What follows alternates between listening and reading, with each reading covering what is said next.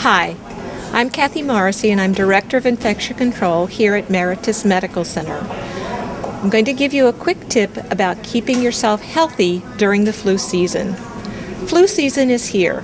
A yearly flu vaccine for everyone six months of age and older is recommended by the Centers for Disease Control as the first and most important thing to do to protect yourself against this infection.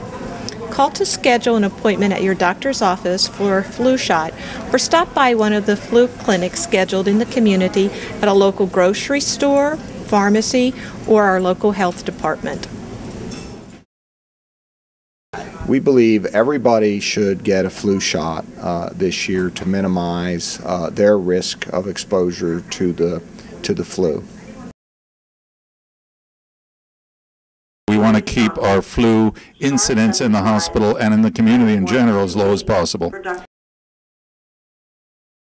It's important, so try to step up to the plate and get your shot and be an example for everybody.